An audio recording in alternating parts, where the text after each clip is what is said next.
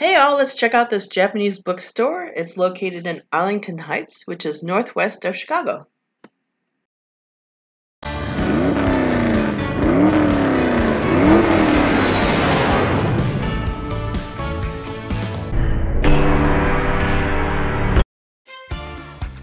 So we have that stuffed Totoro, I think he's called, on the right.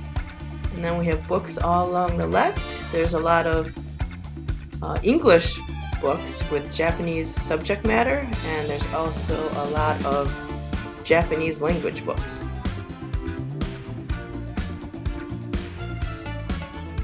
There's this totally cute erasers, shaped erasers, keychains and magnets, and calendars.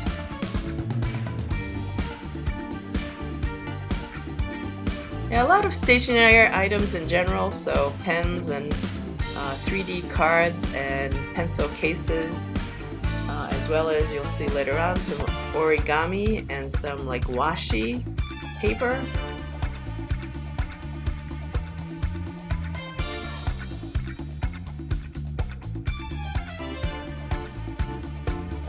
And then you have envelopes for uh, good fortune or good luck for like marriages or birthdays or New Year's celebrations.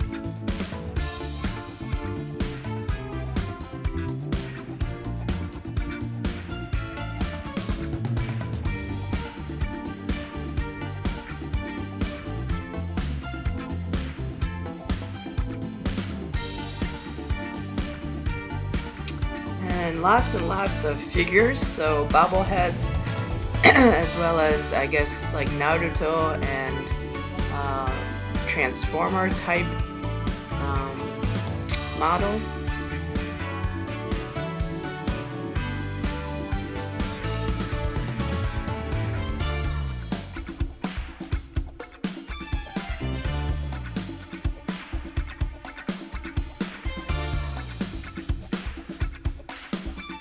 Yeah, so you're walking along. Oh, what cute, you know, kawaii little figures, and hey, you know, this these are very intricate items. Like the prices on here, it's like close to fifty dollars for these collectible figurines. And looking at more cute stuff like do do do do do, and then you turn and bam, there's these shelves with uh, really, uh, I guess, high price um, figures and you think, wow, why are they like so high up on the shelves? And then you'll see they're like hundreds of dollars and they're labeled for 18 and over.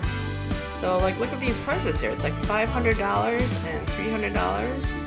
Um, and I don't know how you're supposed to be able to see them because they're very high up on the shelves. So I guess you would have to ask, you know, for a ladder or something or ask someone to take them down for you continue out of that little alcove section and then you have uh, I guess wall hangings, fabric, textile items, as well as um, those socks that separate the toe from the other toes, the big toe from the other toes on your feet. and then you have, uh, you know, lots of other totes and stuff. So, thanks for watching.